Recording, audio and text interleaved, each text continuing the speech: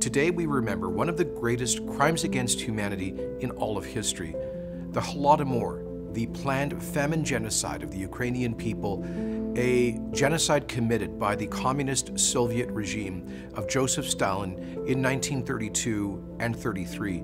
It wasn't the only planned famine executed by the Soviet communists. Their first one, 1919, which uh, targeted enemies of their new communist regime throughout the uh, then young Soviet Union.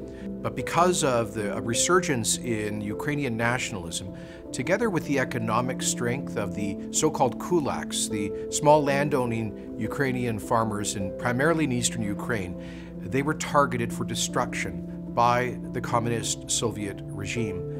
Uh, it is estimated that between 6 and 10 million innocent people lost their lives as the borders were sealed off uh, and grain stores were confiscated from farms and communities. There still live in our own communities survivors of that time who remember firsthand uh, scenes of great horror.